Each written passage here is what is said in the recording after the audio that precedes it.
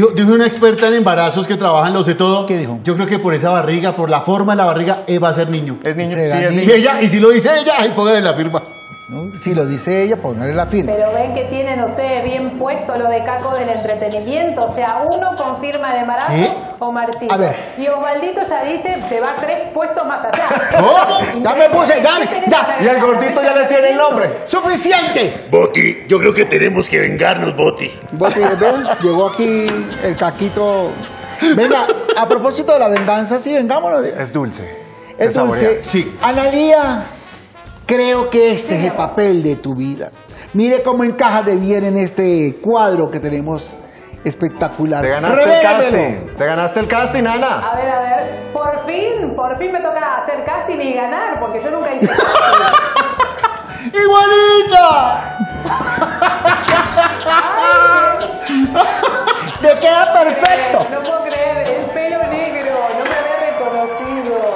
O sea, si solo cambias el pelo y ya, la, chimotrufia. La misma voz chillona y todo. Canta fíjate. igual.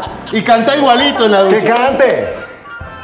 Si van a hacer una remake, esto sería como un pre-casting para una remake, ya saben, tienen al personaje perfecto. Es solamente una cuestión de cambiar el pelo. Mira, mira, mira. Si los hombres somos los cacos del entretenimiento, tú eres la caca. Me refiero al término de caquito y ca- Y Bueno, caquita. ya- La- caquitos y caquita. Caquita. creo que tú y yo estamos locos, Lucas. Te peinaron, Ana. Ay, te va a demandar doña Florinda por Ay, no.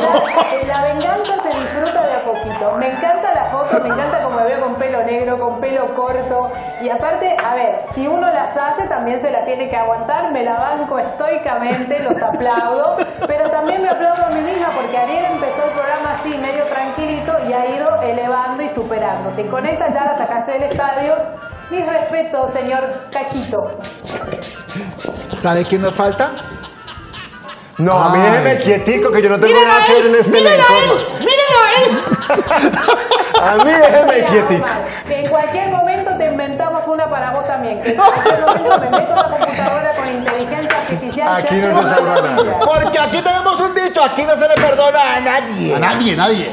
Bueno, eh, eh, Exacto, y es el único que se viene salvando de esta mesa, por ahora.